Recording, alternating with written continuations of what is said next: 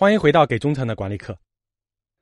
作为一个中层，你除了业务上不断开拓，还有一个重要的工作就是发展组织。这一讲，我先来和你说一说怎么招募牛人。为什么要招募牛人呢？要知道，如果一个团队的管理者就是团队的天花板，那么你的认知和能力的局限就会限制团队的发展。对于这个问题，亚马逊有一个非常好的制度设计，他们在招聘新人的环节安排了抬杆者制度。所谓抬杆者，原意是指跳高比赛中把杆子提升的工作人员。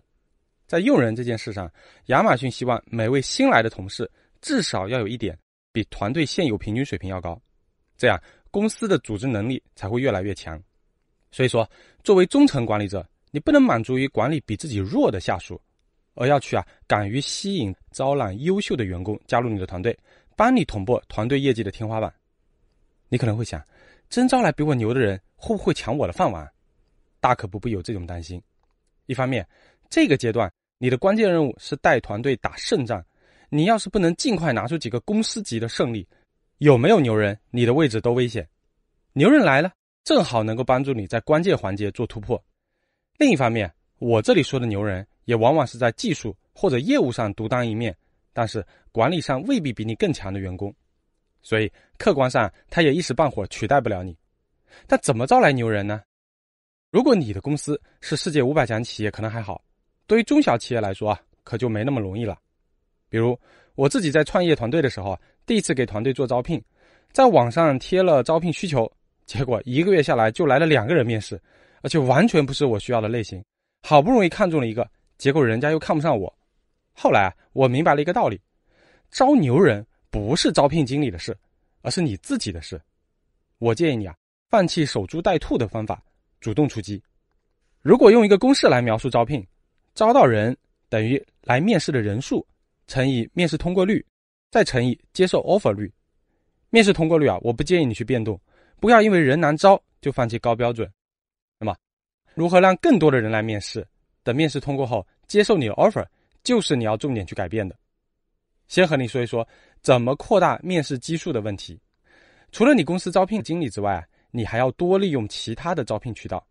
比如说，第一种内部推荐，在人力资源领域有一个共识，那就是和网站收简历、打陌生电话等传统招聘方式相比啊，内部推荐是成功率最高的招聘方式。我建议你发动起你的团队，积极的向你推荐他们的朋友、同学或者是前同事来面试。当然，你自己要以身作则。我在加入一号店的时候，两年的时间，我说服了四位保洁前同事、一位初中同学、两位好朋友、一位我曾经的客户，一共八个人加入。我的队员们也被我给感染了，因为他们看到自己的上级是多么坚信自己的事业，他们也开始推荐他们的小伙伴加入。另外，你也有必要和你的 HR 坐下来讨论一下，你们现在的内部推荐政策是不是合理。我辅导过不少公司，内部推荐成功只奖励三百块钱。或者是五百块钱，说实话，这个金额太少了。因为如果是用猎头的话，猎头费都快接近候选人三个月的工资了。所以从公司的角度来说，用员工推荐，哪怕给推荐人相当于候选人一个月工资的奖金，也比猎头费要便宜。当然，你还要和你的上级达成共识。有些公司的上级会有些顾虑，担心下属们推荐来的朋友会形成裙带关系。不过，我更愿意认为啊，这是一个比例问题，只要数量控制在一定的比例内。而且来的人确实有真才实干，我相信公司是可以开绿灯的。第二种方法呢，是找行业大咖做媒。对于一些牛人，你可能都不知道他们在哪里，而且就算知道了，人家对你和对你的公司的信任度都是有限的。有一个大咖来做媒啊，性质就不一样了。我自己在做生鲜电商创业的时候，我们团队就聘请了三位年纪加起来超过两百岁的资深采购老师傅，作为我们的管理顾问。在水果市场上，目前很多团队的采购都是他们当年的徒弟，甚至徒孙。这三位老师傅帮我们去邀请采购方面的牛人，几乎是指哪打哪，一挖一个准。第三个重要渠道是行业论坛，既有线下的峰会沙龙，也包括线上的社群。作为中层管理者，你要开始打造自己的行业影响力了。在这些论坛里发言、交友、参与讨论，都能够帮助你有效的吸引来对你的公司和行业感兴趣的潜在候选人。我当时创业的时候，在每次生鲜论坛上做完主题演讲，都会留一页 PPT，用一分钟的时间说一下我们团队现在需要什么样的人，然后留下我的联系方式。几乎每次演讲结束之后，都会有十余位潜在的候选人和我联系。好，通过我上面说的这些方法，相信你能够找到牛人来面试，不是大问题了。可是，怎样能够说服他们加入你的团队呢？尤其是你的公司还不是那么大的规模的时候。我的经验是啊，在工资、收入、工作地点等等硬条件不能改变的情况下。中层管理者事半功倍的，就是精心设计面试的体验过程了。你也许对“用户体验”这个词不陌生。如果你把候选人来公司面试想象成一个用户体验的过程，那么就很好理解了。我从面试前、面试中和面试后三个体验的角度来和你分享。首先是面试前的体验，可以带候选人参观一下你们公司，不动声色的秀秀公司的闪光点。很多公司是这样：候选人来了，到前台登记。然后就被带到一个小房间里，和面试官聊一个小时，然后又被送走。我们换位思考一下，如果你是一个候选人，难道你不对公司的办公环境、团队氛围、公司产品，甚至服务细节等等感兴趣、有好奇吗？我辅导过一家高科技企业的招聘团队，他们公司的专利啊有整整的三面墙，而且公司的耳机产品有着极好的用户体验，但他们的候选人啊大部分都没有参观过这个专利墙。甚至连他们公司的产品都没有体验过，很多人等到进了公司才发现，哦，原来我们公司这么厉害。所以我建议他们更改候选人的面试路线，前台登记完，先参观专利墙，再现场体验公司的产品，最后啊才是面试。果然成功率大幅提高。接下来啊，我来说面试中的体验。面试是一个双向选择的过程，你在面试候选人，候选人也在面试你。至于像着装、谈吐。坐姿等等基本的商务礼仪，我在这就不多说了。我说一个很多中层管理者会忽视的细节：他们在面试候选人的时候啊，往往就是一支笔在人家的简历上涂来涂去、写写画画，问的问题啊也是天马行空，想到什么问什么。所以我非常建议你把我在第八讲提到的那个面试清单打出来，严格按照面试清单提问，并且做记录，把这种专业的感觉传递给对方。另外，牛人不缺工作。缺的是让他们兴奋的工作。对于牛人的面试，考察能力的部分可以适当减少。我建议你啊，要留出一个重要的交流环节，谈一谈公司的战略和价值观。讲战略不是吹嘘你们公司的战略有多牛，而是要让对方觉得他对于公司、对于你的团队是被需要的。讲价值观呢，也不是空喊口号，而是要和牛人确认这里的工作方式是他们认可的。苹果公司的 CEO 库克。曾经回忆起乔布斯当年是怎么吸引他加入的。他回忆说啊，当时乔布斯打动他的最关键的就是两点：一，乔布斯谈到他们要进军个人消费领域，而当时的竞争对手都以为只有在企业服务领域才能发展。库克恰好看出了苹果当时存在的问题，而他过往在康柏的经验呢，恰好可以弥补这一点。另一点啊，就是苹果这种走自己路的价值观也是库克非常认同的，所以他放弃了康柏的稳定的工作，开始了在苹果的职业生涯。最后啊，是面试结束后的用户体验。面试结束，并不代表吸引牛人的过程结束。这里有个小技巧，在我实际工作中，我发现能够大幅提高面试的成功率。那就是啊，给候选人布置一个小任务，比如给他一些公司的信息，让他做一个分析报告，或者是啊，请他到公司的现场，以一个顾问的身份找出存在的一些问题。这样做有三个好处：首先是进一步考察候选人的能力。毕竟，对于牛人来说，我们对他的期望值更高。单单靠面试怎么说，有的时候还是会看走眼的。所以，给他一些小任务上手做一下，能够让你的判断更加准确。第二个好处，对于候选人来说，他对你的公司增加了时间精力上的投入，某种意义上啊，就成了他的机会成本。他投入越多，心理上就越不愿意拒绝你。第三个好处。在这个阶段，把公司存在的一些问题暴露在他的面前，反而能让候选人觉得你很坦诚，也能够帮助他更好的适应未来的工作。你别以为啊，现在把你的团队说的很美妙，可以更方便的吸引候选人来，恰恰不是。候选人会觉得你藏着掖着，对自己有所隐瞒。当然，就算你做了这些努力，候选人还是没有来，你也不要气馁。现在不能来，并不代表未来不能来啊。我和我客户公司的一位技术大拿。就聊起过招聘这件事儿，他当年在西安创业，CTO 啊在北京，每半个月和他打一次电话，就这么坚持了两年。后来他想跳槽的时候，那位 CTO 一邀请，他就欣然接受了。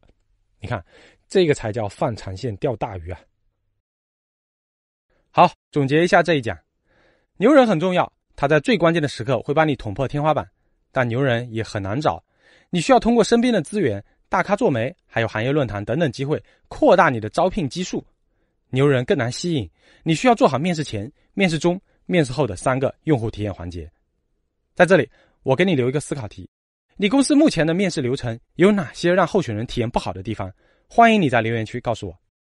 牛人有了，怎么让他们尽快的融入团队呢？欢迎回到给中层的管理课。上一讲我和你说了怎么引入牛人，这一讲我来和你说说怎么帮助新人尽快融入团队出业绩。不少人觉得新员工业绩不好，那就是能力不行。这么说啊，就太武断了。我看过二零一七年哈佛商业评论发表的一个研究，他们对新晋跳槽的五百八十八名高管进行了调查。发现这些高管能力都很强，但如果出现对新团队不适应的情况，跳槽后啊很难马上出业绩。为什么呢？原因啊无外乎是不适应新组织的运作模式，和新团队的文化冲突，和陌生同事合作不愉快等等。高管尚且如此，更何况普通员工？普通的新员工刚加入一家公司，会担心自己说错话、做错事，如果没有正确疏导。还会畏手畏脚。既然招聘的时候啊，他们通过了你的面试，说明你当初能看上人家的能力。所以新员工不出业绩，不能融入团队才是关键。怎么能有效解决这个痛点呢？作为中层管理者，你不可能全天候无死角的去关怀每一位员工。我在多年的管理实践中总结出六个关键时刻，在新员工入职的时候啊，你只要在这六个时刻给他帮助。就能够有效的避免他们出现无法适应新团队的情况。接下来，我帮你具体梳理一下这六个关键时刻。首先是发入职 offer 的时候，请注意，帮助新员工融入团队，不是从入职的那一天才开始的。当你决定给他发入职 offer 的时候，就应该是你关怀他的起点。为什么呢？他收到你发的 offer，并不意味着他一定会来。从拿到 offer 到正式入职，还有着一段空窗期呢。如果他足够优秀的话，别的公司很可能会趁虚而入。听说这个员工要跳槽，那就直接来截胡了。那么在入职之前，怎么体现出公司对这个新员工的关怀呢？我的做法是啊，在发 offer 的时候，给他安排一个小师傅，也就是外企里面说的 buddy 制度。这个小师傅啊。最好和这个新员工年纪差不多，工作经历也差不多。当然，一定要是业绩好的、比较正能量的员工。新员工遇到的所有关于入职的问题，都可以直接和这位小师傅沟通请教。而且，因为他们年纪和经历很相似，很容易啊就会有很多生活化的交流。比如，新公司附近哪里有好吃的？团队里面其他同事都是什么风格的？和老板沟通的时候要注意什么？等等。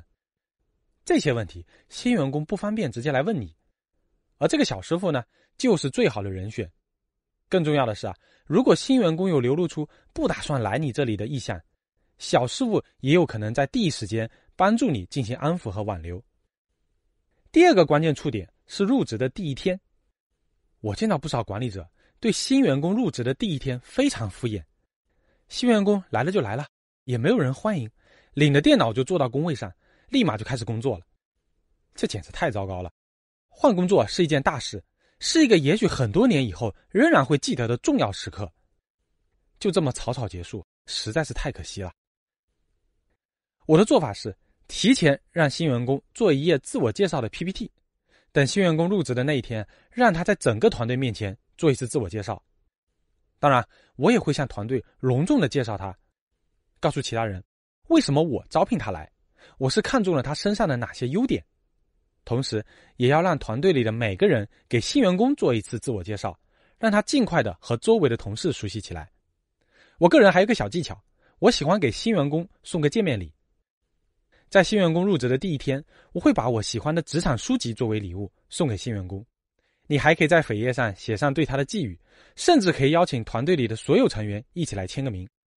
总之啊，一定要把第一天的仪式感弄得满满的。记住，这是他人生里很重要的高光时刻，必须要充满了仪式感。说完了第一天，接下来的一个关键时刻就是第一周结束的工作汇报。在第一周里，新员工对工作流程应该有了初步的认识，也开始接手了一些工作。但这个时候啊，什么事情重要，什么事情不重要，他心里是没有数的，让他自己误打误撞，很可能因为不懂得分配优先级，导致在短期之内出不了业绩，有挫败感。正好一周结束了，借这次汇报的机会，你帮他梳理一下工作的优先级，还可能听听他的成长情况，有没有遇到棘手的问题是需要你帮助他的。同时啊，你还需要给他布置以后的工作安排。第四个关键节点。是第一个月结束的时候，工作汇报我就不重复了。我特别建议你在第一个月结束的时候安排一次集体团建活动，可以是简单的，组织团队到郊外走一走，一起聚餐；也可以是真人 CS、密室逃脱这种娱乐型的活动。这个活动的意义在于创造一个脱离工作之外的环境，因为大家平时在工作中不会有太多的私人交流，而团建的目的呢，就是让大家玩起来。帮新员工尽快融入团队中，锻炼他和团队之间的默契。时间维度上的关键时刻就是上面四个，后面两个呢是工作维度的。第五个关键时刻是新员工第一次遭受挫折的时候。我们经常认为出状况之后把问题处理好了就行了，但你别忘了，对新人来说啊，这也是一个非常重要的节点。不管什么时候发生，原因是什么，你都要在第一时间介入。新员工犯错误，往往来自于缺乏经验，或者对新团队的规矩不清楚。要是老员工犯的错，会对问题的关键看得很清楚，但新员工不一样，他既不知道这个问题的后果有多严重，也不知道应该怎么改进，很容易因此心态失衡，做事情啊变得缩手缩脚起来。要帮助老员工很容易，你只需要指出他要改进的一二三点，他就会自己去解决问题了。但是啊，对新员工的辅导方法则有些不同。我通常分三步走：稳住情绪、复盘原因、总结教训。第一步是稳住情绪。一般而言，新员工还是很积极的，想尽快出业绩的。但是挫折容易让他情绪低落，对自己的能力产生怀疑。在那个当下，如果你发现他情绪低落，你可以约他第二天进行复盘。在复盘原因的时候，很重要的一点是，一定要让他从做得好的地方说起。不要以为下属遇到挫折，整个项目就一无是处了。先从做得好的地方讲起，可以帮助他恢复自信。这样做会在很大程度上安抚他的情绪，让接下来的复盘更加顺利。之后啊，就要开始梳理项目中出现的问题了。这个步骤也要非常小心，切忌规避跟责任相关的话术。要把重点放在提升空间上，因为这次复盘的目的不是让他为这次错误负责，而是教导他以后该如何提升。你可以这样说：在项目过程中，你看到什么我们没有做得好的地方吗？以后再出现类似的情况，你认为我们应该怎么提升呢？不管下属说什么，不要打断，等他说完之后，再帮助他从失败中总结教训。这里啊，需要注意一个话术。千万不要用“我认为下次你应该注意怎样怎样”，而是要用“如果再遇到类似的情况，我会怎样怎样”。这样不仅可以分享你的工作经验，更能让下属感受到你对项目的反思和自我复盘。总之，这一步的最终目的是把错误的经验落实到下一步的提升计划上，那么下属啊才算是真的从挫折里走出来了。第六个关键时刻是新员工第一次取得胜利的时候，这是一个非常重要的时刻，它意味着新员工来到公司之后，终于能够证明自己的价值了。这时候，你作为管理者一定要看到这个新员工的业绩，然后帮助他在团队内做宣传。我的经验是，把团队召集到一个办公室里，让新员工隆重的分享他的成功案例，他做了什么，过程中得到了大家的哪些帮助。最后取得了怎样的成绩？不只是他的分享，你也可以请团队一起吃个蛋糕，甚至开瓶香槟，为他的成果庆祝。必要的时候，要第一时间抄送给你的上级，让更高层知道，并且肯定这位新员工取得的成果。在我的电脑里啊，到现在还珍藏着当年我刚进公司的时候，我老板的老板发给整个大部门的邮件。表彰我在渠道管理方面提到的一个非常小的改进建议。我时不时会把那个表彰邮件翻出来看，心里美滋滋的。好，这就是我给你总结的帮助新员工融入团队的方法。请注意，我这里说的新人不一定是应届毕业生，只要是新加入你们团队的人，哪怕有着多年的工作经验，同样会遇到新人的不适应期的问题，可能影响业绩发挥。作为中层管理者，你应该在六个关键时刻给予他们帮助。时间维度上有四个，分别是发 offer 之前分配小师傅、第一天的见面礼、第一周的复盘和第一个月的团建。工作维度的关键时刻有两个：他第一次遭受挫折的时候和他第一次取得胜利的时候。做好这六个关键时刻的工作，就能够避免新员工的不适应问题，帮助他们更好的产生业绩。在这里啊，给你留一道思考题：如果你要选一本符合你管理理念的职场书籍，在下一个新人入职的时候，把它当做见面礼送出去，你会选哪本书？